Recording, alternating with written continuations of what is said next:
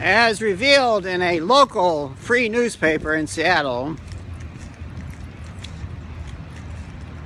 the shit may hit the fan today on Father's Day, the 21st of June.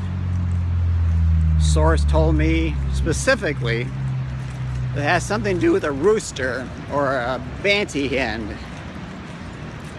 My father, of course, is uh, suspect because he's a degenerate gambler.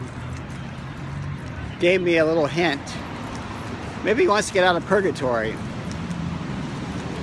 No, my father is not in hell. Yes, he is. yeah, he's in hell.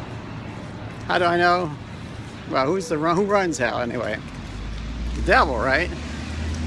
Anyway, so uh, not to be more too uh, explicit, lest I get in, uh, uh put in jail or something.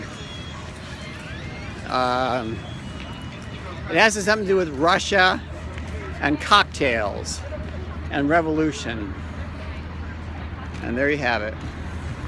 The whole nine yards. This is Operations Officer Windfall saying, I like my old name, Barking Dog 9, but they, they, they made me change it. I don't know why.